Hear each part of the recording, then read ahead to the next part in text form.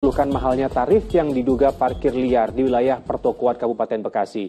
Ia disodori karcis dengan retribusi Rp7.000 meski hanya memarkirkan mobil selama 5 menit. Hal tersebut langsung ditanggapi oleh pemerintah setempat. Ini padahal gue cuma beli bubur ayam. Asli di Video amatir warga yang mengeluhkan mahalnya tarif parkir di pusat pertokoan kawasan Pasar Bersih Cikarang Pusat, Kabupaten Bekasi, Jawa Barat viral di media sosial. Terlihat dalam karcis yang ia terima tertulis tarif Rp7.000 untuk mobil dan Rp3.000 untuk parkir sepeda motor. Padahal menurut pedagang di tempat tersebut, harga parkir lebih murah. Hari Minggu emang rame Pak? Rame padat.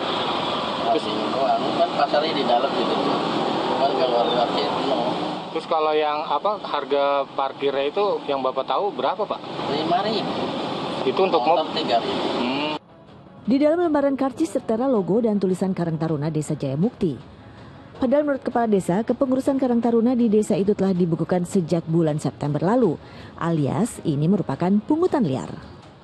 Nah, saya mulai tanggal 2 September 2021 ini nah, Karang Taruna Desa Jaya Mukti sudah saya bekukan ya. Sampai sekarang belum saya bentuk.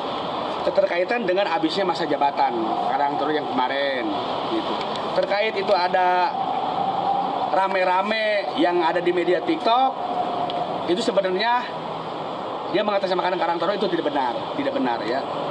Karena tidak terdaftar dalam peraturan desa, Kades Jaya Mukti Cikarang memastikan retribusi parkir tersebut tidak pernah masuk ke kas desa.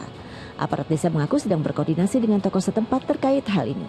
Muhabar melaporkan dari Kabupaten Bekasi, Jawa Barat.